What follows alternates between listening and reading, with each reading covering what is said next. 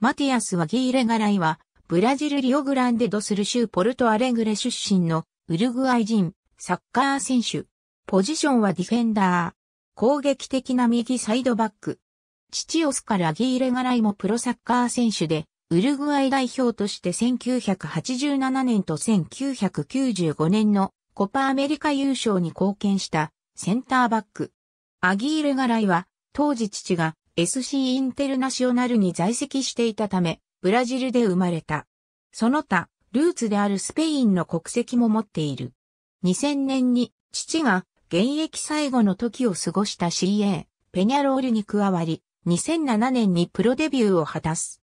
2010年には、スペイン2部のテラーサ FC にレンタル移籍したが登録上の問題から試合出場はなかった。レンタルバック後の2011年にモンテビデオアンダラーズ FC に完全移籍し、すぐにイタリアの US チッタディッパレルモにレンタル移籍された。イタリアではレギュラーを奪えず、またチームも低迷したが、リーグ戦12試合に出場し、守備面での不安は残るものの魅力ある攻撃力を持っていることを示した。完全移籍には至らなかったが、オフシーズン期間では、ロンドン五輪や初めての A 代表を経験するなど、様々な経験を積んだ。2012年9月に、ルーマニアの CFR クルジュに完全移籍。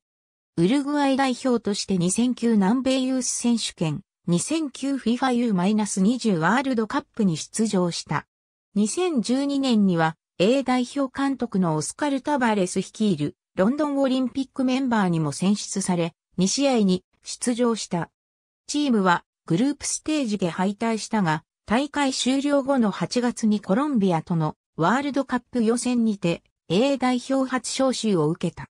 アギリガー、ウンブラシリアの D ウルグアイハット、ボボジャ、エーゼノア、アクイステイトアギリガー、ハットチェレマイリーセンテアキッツティアレクラブール、ノーストルー、コロンビア vs、ウルグアイ4-0。ありがとうございます。